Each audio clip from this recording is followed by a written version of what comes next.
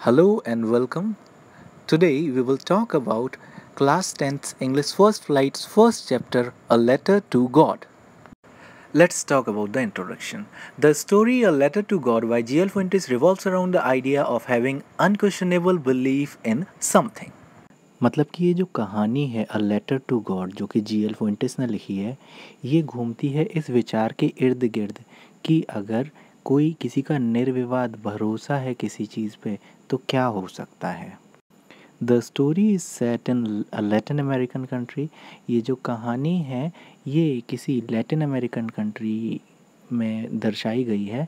Lencho the farmer who is the protagonist of the story Lencho जो कि किसान है, कहानी का नायक भी है writes a letter to God seeking help from the almighty after discovering his entire crop yield destroyed by a devastating hail storm वो एक पत्र लिखता है भगवान को उस सर्वशक्तिमान से मदद मांगने के लिए, जब उसे पता चलता है कि उसकी पूरी फ़सल नष्ट हो चुकी है एक विनाशकारी तूफ़ान के द्वारा। Although his wishes get fulfilled partially हालाँकि जो उसकी विशेज़ थी, वो पूरी तरह से नहीं, लेकिन पार्शियली पूरी की गई इफ़ नॉट कम्प्लीटली अगर पूरी तरह से नहीं। He is ungrateful in the end अंत में वो कृतज्ञ होता है। कृतज्ञ वो होता है जो किसी का एहसान नहीं मानता, उसे अनग्रेटफुल कहते हैं and question the honesty and modesty of the post master who actually help him with money in the name of God bracket में लिखा हुआ है एनोनिमसली मतलब कि बताया नहीं किसने हेल्प की है, लेकिन सच में उसने हेल्प की थी, उसकी ईमानदारी पे शक किया, जिसने भगवान के नाम से उसकी मदद की। चलिए आगे स्टोरी पढ़ते हैं और देखते हैं एक्चुअली हुआ क्या था। ये आपका समरी पार्ट है, ये आपके नोट्स पर्पज़ के लिए इसको मैं एक्सप्लेन नहीं कर रहा हूँ। आप इसे खुद पढ़ के और लिख सकते हैं। मैं सीधा स्टोरी एक्सप्लेन करता हूँ। The house the only one in the entire valley इसमें अ हाउस का यूज़ नहीं किया गया द हाउस द हम तब लगाते हैं जब कोई किसी चीज़ के बारे में हम डेफिनेट होते हैं। तो इसका मतलब एक ही घर है, हम उसी की बात कर रहे हैं, इसीलिए हमने द हाउस लगाया है। तो इकलौता घर था पूरी वैली में set on the crest of a low hill crest का मतलब क्या होता है? पहाड़ी के ऊपर टॉप ऑफ़ द हिल तो वो घर पहाड़ी के ऊपर था। From this height one could see the rivers the field of ripe corn dotted with flowers that always promised a good harvest इस हाइट से नदी दिखती थी, पके हुए भुट्टे के खेत दिखते थे, भरे हुए, जिससे कि ये लगता था कि हाँ खेती अच्छी हुई है। The only thing the earth needed was a or at least a shower. जो चीज़ जिसकी धरती को ज़रूरत थी, वो एक भारी बरसात या फिर कम से कम छीटें पड़ जाएँ। मतलब पानी की ज़रूरत थी धरती को। Throughout the morning the Lencho who knew his field intimately, had done nothing else but see the sky towards northeast. मतलब पूरी सुबह लेंचो जो कि अपने फील्ड्स को बहुत क्लोजली जानता था इंटीमेटली का मतलब है क्लोजली तो लेंचो पूरी सुबह उसने क्या किया? उसने हैड डन नथिंग कुछ और नहीं किया। But see the sky towards north east लेकिन वो आसमान को देखता रहा नॉर्थ ईस्ट की तरफ़। मतलब पूरी सुबह सुबह सुबह बैठ गए और नॉर्थ ईस्ट की तरफ़ आसमान को देख रहे हैं। क्योंकि उन्हें पता है उनके खेतों को क्या चाहिए। Now we are really going to get some water woman यहाँ पे वुमेन को, वो अपनी वाइफ को वुमेन से संबोधित कर रहा है तो वो बोल रहा है कि अब हमें ज़रूर थोड़ा सा पानी मिल जाएगा। अपनी वाइफ से वो बोल रहा है, अब हमें ज़रूर थोड़ा सा पानी मिल जाएगा। मीन शायद उसे बादल दिखे आसमान में. The woman who was preparing supper replied yes God willing जो उसकी वाइफ थी, जो कि खाना बना रही थी रात का, उसने रिप्लाई किया हाँ अगर भगवान की इच्छा हुई तो ये भगवान की इच्छा है सब. मतलब हमें मिलेगा, नहीं मिलेगा, ये सब भगवान की इच्छा है. The older boys were working in the field while the smaller ones were playing near the house until the woman called them. जो बड़े बच्चे थे. ठीक है, वो खेतों में काम कर रहे थे, जबकि जो छोटे थे, वो घर के पास खेल रहे थे। कब तक होते रहे? जब, वो कब तक होता रहा ये काम? जब तक कि उसकी वाइफ ने उन दोनों को नहीं बुला लिया, उन सबको। मतलब बच्चों का काउंट नहीं बताया कितने बच्चे हैं, लेकिन बड़े बच्चे थे, वो खेतों में काम कर रहे थे, छोटे बच्चे घर के पास खेल रहे थे। बाद में उनकी वाइफ ने सबको बुला लिया। कम फॉर द डिनर खाना खाने आ जाओ बेटा। बुलाते ना मम्मा कम फॉर द डिनर खाना खाने आ जाओ। It was during the meal that just as Lencho had predicted खाने के दौरान जैसा कि लेंचो ने भविष्यवाणी की थी just as Lencho had predicted big drops of rain begin to fall बड़ी बड़ी बूंदें बारिश की गिरने लगी। In the northeast, huge mountains of clouds could be seen approaching. Northeast की तरफ़। Huge mountains of clouds could be seen approaching बादलों के बड़े बड़े पहाड़ आते हुए देखे जा सकते थे। मतलब इतने बड़े बादल थे कि उनकी तुलना पहाड़ों से कर दी गई है। The air was fresh and sweet हवा जो थी ताज़ी और मधुर थी। The man went out for no other reason than to have the pleasure of feeling the rain on his body जो लेंचो था, वो बाहर गया बिना किसी कारण के। कोई वजह नहीं थी उसके बाहर जाने की। सिवाय इतनी कि वो आनंद लेना चाहता था बारिश का अपने ऊपर पड़ते हुए। मतलब अब किसी चीज़ की हमें मतलब बहुत ज़्यादा उम्मीद होती है या इंतज़ार होता है किसी चीज़ का तो हम उसका आनंद उतना ही लेते हैं जब वो हमें मिल जाती है। तो बारिश का आनंद वो इतना ले रहा है कि वो बाहर चला गया, चलो अब तो मैं बारिश में भीगूँगा। फील करना चाहता हूँ, क्या ये सच में बारिश है? And when he return he exclaimed और जब वो वापस आया तो उसने एक्सक्लेम किया। एक्सक्लेम का मतलब होता है कोई भी सडन फीलिंग जॉय की सरप्राइज़ की इमोशंस की, किसी भी चीज़ की हो सकती है। These are rain drops falling from the sky ये बारिश की बूंदें नहीं गिर रही हैं आसमान से। दे आर न्यू कॉइन्स ये तो नए सिक्के हैं। The big drops are ten cent pieces and the little ones are five जो बड़ी बूंदें हैं वो टेन सेंट हैं और जो छोटी हैं वो पाँच हैं। ये क्यों कंपेयर किया उसने पैसों से? क्यों? क्योंकि बारिश की वजह से उसकी फ़सल अच्छी होने वाली है और फ़सल अच्छी होगी तो वो उसे अच्छे दामों में बेचेगा और उसके पास पैसा आएगा। तो बारिश इनडायरेक्टली उसके लिए पैसा ही है इसीलिए उसने बारिश को पैसे से कंपेयर किया With a satisfied expression, he regarded the field of ripe corn with its flowers draped in a curtain of rain. बड़ी ही संतुष्ट अभिव्यक्ति के साथ उसने जो अपनी बरसात की चादर से ढकी हुई फ़सल थी, फूलों के साथ पक्के मक्कों की फ़सल थी, उसके बारे में सोचा विशेष तरीके से। But suddenly a strong wind begin to blow and along with the rain very large hail stones begin to fall लेकिन अचानक ही तेज़ हवाएँ चलने लगी और बारिश के साथ बड़े बड़े ओले गिरने लगे। These truly did resemble new silver coins ये सच में नए चांदी के सिक्के लग रहे थे। The boys exposing themselves to the rain ran out to collect the frozen pearls जो लड़के थे उसके, वो भी बारिश में आ गए और दौड़े जमे हुए मोतियों को कलेक्ट करने के लिए। जमे हुए मोती यहाँ पे किसको बोला गया है? ओले को। ठीक है? It's really getting bad now exclaim the man अब मैन बोला गया यहाँ पे लैंचो को, वो बोल रहा है, अब ये सच में बुरा होता जा रहा है। I hope it passes quickly मतलब मैं उम्मीद करता हूँ कि ये जल्दी ही गुजर जाए।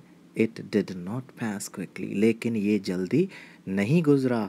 For an hour the hail rain down the house the garden the hillside the cornfield the whole valley एक घंटे तक जो ओले हैं, वो गिरते रहे घर पे, गार्डन में, पहाड़ी की तरफ़ मतलब कॉर्नफील्ड पे मतलब कह सकते हैं पूरी वैली में गिरते रहे ओले। The field was white as if covered with salt जो फ़ील्ड था, जो खेत था, वो सफ़ेद हो गया था, ऐसा लग रहा था जैसे नमक से ढक दिया गया हो। Not a leaf remain on the tree पेड़ पे एक पत्ती एक पत्ती तक ना रही। The corn was totally destroyed जो फ़सल थी वो पूरी तरह से नष्ट हो चुकी थी। The flowers were gone from the plants जो फूल थे वो पेड़ों से जा चुके थे मतलब झड़ गए थे। Lencho's soul was filled with sadness Lencho की आत्मा थी वो दुख से भर गई थी।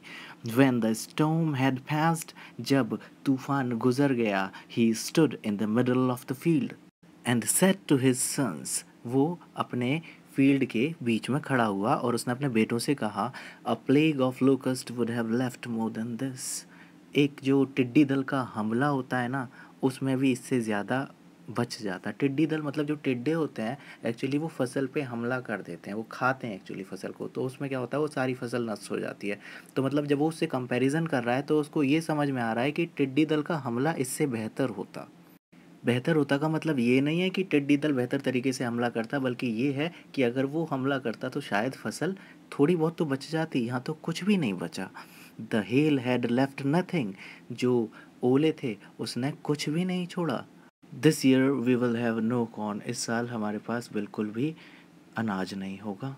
The night was a sorrowful one वो रात एक दुख भरी रात थी। All our work for nothing हमने जितना भी सारा काम किया उसका कुछ नहीं मिला। कहने का मतलब है सारी मेहनत करी और सब बेकार चली गई there is no one who can help us ऐसा कोई नहीं है जो हमारी मदद कर सके। We'll all go hungry this year इस साल हम सब भूखे रहेंगे। But in the hearts of all who lived in that solitary house in the middle of the valley, there was a single hope help from God. लेकिन उन सब के दिल में जो उस इकलौते एकांत मकान में रहा करते थे, उस वैली के मध्य में there was a single hope एक उम्मीद थी उन सबके दिल में। क्या उम्मीद थी? हेल्प फ्रॉम गॉड भगवान से मदद। Don't be upset even though this seems like a total loss दुखी मत हो, यद्यपि ये देखने में पूरी तरह से हानि लग रही है। पूरी हानि हो चुकी है, लेकिन फिर भी दुखी मत हो। Remember no one dies of hunger that's what they say no one dies of hunger याद रख, याद रखना, कोई भी भूख से नहीं मरता। ऐसी ही कहावत है, यही कहावत है ना? कोई भी भूख से नहीं मरता। ऑल थ्रू द नाइट सारी रात Lencho thought only of his one hope Lencho ने सिर्फ़ अपनी एक उम्मीद के बारे में सोचा द हेल्प फ्रॉम गॉड भगवान से मदद. हुज आइज़ जिसकी आँखें as he had been instructed जैसा कि उसे बताया गया था सी एवरीथिंग जिसकी आँखें सब कुछ देखती हैं even what is deep in one's conscience वो भी जो किसी की गहरी अंतरात्मा में छुपाए मतलब आदमी के अंदर की चीज़ें भी भगवान देख लेता है। Lencho was an ox of a man Lencho एक बहुत ही मेहनती आदमी था। ऑक्स ऑफ़ अ मैन का मतलब होता है hard working working like an animal in the fields जानवरों की तरह काम करता था, फ़ील्ड पे जानवर बहुत मेहनत करते हैं ना, उसी तरह से लेंचो भी बहुत मेहनत करता था but still he knew how to write लेकिन फिर भी वह जानता था कि कैसे लिखा जाता है। कहने का मतलब ये है कि कोई आदमी बहुत मेहनत करता है, किसान आदमी, इसका मतलब ये नहीं कि वो अनपढ़ है, वो भी पढ़ा लिखा है। द फॉलोइंग संडे अगले रविवार एट डे ब्रेक दिन निकलते ही he began to write a letter which he himself would carry to the town and place in the mail जैसे कि वो खुद लेके जाने वाला था कस्बे की तरफ़ और उसे मेल बॉक्स में डालने वाला था। It was nothing less than a letter to God ये कुछ और नहीं था, बल्कि ये था भगवान को पत्र। भगवान को पत्र के अलावा ये कुछ और नहीं था। कहने का मतलब यह है कि उसने भगवान को लेटर लिखा था। वो लेटर जो था उसमें भगवान के लिए कुछ लिखा था। वो लेटर भगवान के नाम था। क्या लिखा था उसने लेटर में? गॉड ही रोट उसने लिखा था, भगवान if you don't help me my family and I'll go hungry this year अगर आप मेरी मदद नहीं करोगे तो मेरा परिवार और मैं इस साल भूखे रहेंगे। I need a hundred pesos in order to sow my field again and to live till the crop comes मुझे सौ पीसोज की ज़रूरत है ताकि मैं अपने खेत को दोबारा बो सकूँ और जब तक मेरी फ़सल दोबारा ना उग जाए, मैं तब तक अपना गुजारा कर सकूँ। Because the hail storms dot dot dot मतलब कहने का ये कि हिल स्टॉम ने मेरी फ़सल बिगाड़ दी जो भी पुरानी कहानी थी सारी उसने लिख दी। He wrote to God on the envelope उसने जो लिफाफा होता है उसके ऊपर जो एड्रेसी का नाम होता है वहाँ पे लिखा to God put the letter inside उसने एनवलप में लेटर डाला एंड स्टिल ट्रेवल्ड अभी भी परेशान वेन टू टाउन कस्बे की तरफ़ चला गया। At the post office, he placed a stamp on the letter and dropped it into the mailbox. उसने एक मोहर लगाई लेटर के ऊपर और इसको डाल दिया मेल बॉक्स के अंदर। ठीक है? लेटर पोस्ट कर दिया उसने। One of the employees who was a postman and also help at the post office एक एम्प्लॉय जो कि एक पोस्टमैन भी था वहाँ पे और पोस्ट ऑफ़िस पे भी थोड़ी सी हेल्प कर देता था went to his boss laughing heartily and showed him the letter to God वो बहुत ज़्यादा हंस रहा था और उसने वो लेटर जो गॉड के लिए लिखा था वो दिखाया। Never in his career as a postman had he known that address उसके करियर में कभी भी उसने ऐसा एड्रेस कभी नहीं जाना था। गॉड गॉड का एड्रेस अगर प्रैक्टिकल लाइफ में कोई पोस्ट पोस्ट तो नहीं करता है ना तो उसी बात पे वो हंस रहा था। द पोस्ट मास्टर जो पोस्ट मास्टर था अ फैट एमेबल फेलो एक मोटा और मजाकिया बंदा, जो जॉली नेचर्ड होते हैं, उसे बोलते हैं amiable also broke out laughing वो भी बहुत ज़ोर ज़ोर से हंसने लगा. बट ऑलमोस्ट इमीडिएटली लेकिन तुरंत ही टर्न सीरियस वो अचानक सीरियस हो गया and tapping the letter on his desk और अपने डेस्क पे लेटर पटकते हुए कमेंटेड उसने एक टिप्पणी की वट फेथ क्या विश्वास? I wish I had the faith of the man who wrote the letter मैं ऐसी अभिलाषा करता हूँ, काश मुझमें भी ऐसा ही यकीन, विश्वास होता उस आदमी जैसा जिसने ये लेटर लिखा है। Starting up a conversation with the God भगवान के साथ कन्वर्सेशन स्टार्ट कर दिया। मतलब आप ही समझिए, जो आदमी भगवान में इतना विश्वास करता है कि भगवान के साथ कन्वर्सेशन करने लग जाए तो वाकई में उसका ऐसा विश्वास होगा कि उसे सच में लगता होगा, भगवान कहीं ना कहीं है। So in order not to shake the writer's faith in God तो इसलिए ताकि जो लेखक है, पत्र का लेखक है, उसका भगवान में विश्वास न टूटे, भगवान से विश्वास न डगमगाए the postmaster came up with an idea postmaster के दिमाग में एक विचार आया. आंसर द लेटर लेटर का उत्तर देना. But when he opened it लेकिन जब उसने इसे खोला it was evident that to answer it he needed something more than goodwill ink and paper जब उसने खोला तो ये साफ़ दिखाई दिया कि अगर उसे इस लेटर को आंसर करना है तो एक अच्छी इच्छा शक्ति इंक और पेपर के अलावा उसे कुछ और भी चाहिए था। वो कुछ और मनी था ना? But he stuck to his resolution लेकिन वो अपने निश्चय पर दृढ़ रहा। He asked for money from his employees उसे, उसने अपने एम्प्लॉयज़ से पैसों के लिए बोला, जो उसके अंडर में काम करते हैं। He himself gave part of his salary उसने अपनी सैलरी का भी कुछ हिस्सा दिया। And several friends of his were obliged to give something for an act of charity मतलब उसके जो कई सारे फ्रेंड्स थे they were more than happy to contribute in this act of charity मतलब वो उसमें अगर कुछ दे रहे थे तो वो बहुत ज़्यादा खुश थे, वो खुशी से दे रहे थे। It was impossible for him to gather together the hundred pesos उसके लिए ये असंभव था कि वो एक साथ हंड्रेड पीसोज को इकट्ठा कर सके। So he was able to send the farmer only a little more than half इसलिए वो सिर्फ़ उस किसान को, जो लेंचो है, उसको आधे से थोड़ा सा ज़्यादा दे पाया। He put the money in an envelope addressed Lencho उसने पैसे को एक एनवलप में डाला और उस उस पर लेंचो का पता लिखा and with it a letter containing only a single word signed as God और उसके साथ एक लेटर लिखा हुआ था जिसमें सिर्फ़ एक सिंगल वर्ड था God The following Sunday, Lencho came a bit earlier than usual to ask if there was a letter for him. अगले रविवार लेंचो यूजुअल टाइम से थोड़ा सा जल्दी आ गया ये पूछने के लिए कि क्या उसके लिए कोई पत्र आया है it was the postman himself who handed the letter to him while postmaster experiencing the contentment of a man who had performed a good deed looked on from his office जो पोस्टमैन था, उसने खुद letter Lencho के हाथ में दिया, जबकि जो पोस्ट मास्टर था, वो संतुष्टि का अनुभव कर रहा था। एक ऐसे आदमी की संतुष्टि, जिसने कि एक अच्छा कार्य किया हो, वो अपने ऑफ़िस में से सब चीज़ें देख रहा था। Lencho showed not the slightest surprise on seeing the money Lencho ने पैसे देखकर ज़रा भी आश्चर्य नहीं जताया। सच वॉज़ हिज कॉन्फिडेंस ऐसा उसका यकीन था। पर he became angry when he counted the money लेकिन उसे गुस्सा ज़रूर आ गया जब उसने पैसा गिना तब। God could not have made a mistake भगवान गलती नहीं कर सकता था nor could he have denied Lencho what he requested और ना ही वो उस चीज़ के लिए मना कर सकता था जो लेंचो ने रिक्वेस्ट की थी। ऐसा लेंचो अपने मन में सोच रहा था कि भगवान उसकी रिक्वेस्ट को डिनाई नहीं कर सकता था और ना वो गलती कर सकता था। Immediately Lencho went up to the window to ask for paper and ink तुरंत लेंचो चला गया खिड़की की तरफ़ पेपर और इंक मांगने। On the public writing table उस पे टेबल पर जहाँ पे लोग लिखते हैं ही स्टार्टेड टू राइट उसने लिखना शुरू किया with much wrinkle on his brow उसकी जो बोहें होती हैं, वहाँ पे सिकुड़न थी। मतलब वो टेंशन में था। Cause by the effort he to make to express his ideas जो कि उस, जो एफर्ट्स लगा रहा था ना अपने आइडियाज़ को एक्सप्रेस करने में, इसकी वजह से मतलब गुस्सा था उसे। व्हेन ही फिनिश्ड जब उसने ख़त्म किया लेटर लिखना, He went to the window to buy a stamp which he licked and affixed the envelope with a blow of fist. वो खिड़की पे गया स्टैम्प खरीदा जीव से चाटा और एक पंच से चिपका दिया। इससे भी उसका गुस्सा ज़ाहिर होता है। The moment the letter fell into the mailbox the postmaster went to open it जिस क्षण जो पत्र था मेल बॉक्स में गिरा पोस्ट मास्टर गया उसे खोलने के लिए।